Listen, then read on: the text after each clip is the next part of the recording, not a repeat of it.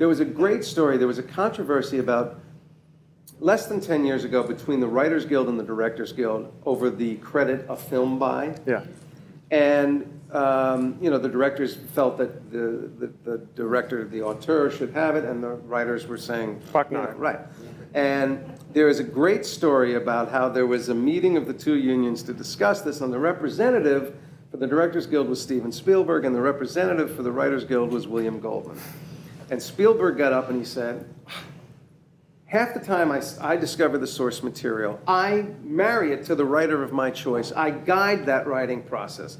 I cast the film. I design every shot. I am the head of every department, even though every department has a head. I sit in charge of editing. I sit in charge of scoring. I, every frame of this film has my imprint on it. How the hell is it not a film by me?